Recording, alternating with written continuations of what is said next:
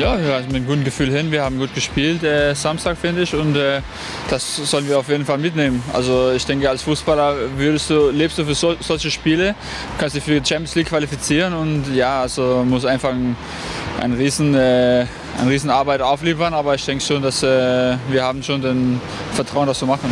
Du hast am Samstag gespielt, das erste Mal für IBE. Wie war das? Bist du zufrieden mit deinem Auftritt? Ja, als Verteidiger willst du immer eine Null halten, das war positiv. Äh, wir haben 4-0 gewonnen, haben viel Tor geschossen, viel, Chance, viel Chancen gehabt und ja, das war ein guter Einstand für mir und äh, jetzt äh, gucken wir nach vorne und, und morgen voller Fokus drauf auf äh, was morgen uns, so, uns zukommt. Du hast schon Erfahrungen im Maracanã, hast dort schon gespielt mit dem 1. FC Köln. Auf was für ein Spiel kann man sich freuen? Ja, es wäre auf jeden Fall ein heißes Klima, aber ich denke nicht, dass die Jungs nie sowas probiert haben früher. Es äh, ist klar, dass äh, das wird eine, eine tolle Stimmung sein, aber das müssen wir nur positiv nutzen, nicht negatives. Also ich denke, da können wir uns auch äh, pushen, dass, dass sie dann alle gegen uns sein und äh, das werden wir ho hoffentlich dann äh, positiv nutzen.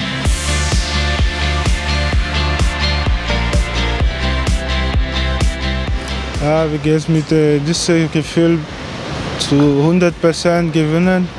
Und für uns ist ein wichtig, ganz, ganz wichtiges Spiel. Am Samstag bist du eingewechselt worden, hast dann sofort den Penalty geschossen. Du bist heiß, du willst unbedingt Tore schießen.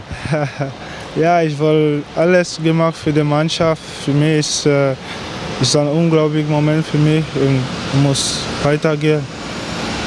Vor zwei Jahren hast du schon einmal in Belgrad gespielt, damals noch in, gegen Partizan, jetzt gegen Roter Stern. Kann man die Spiele vergleichen?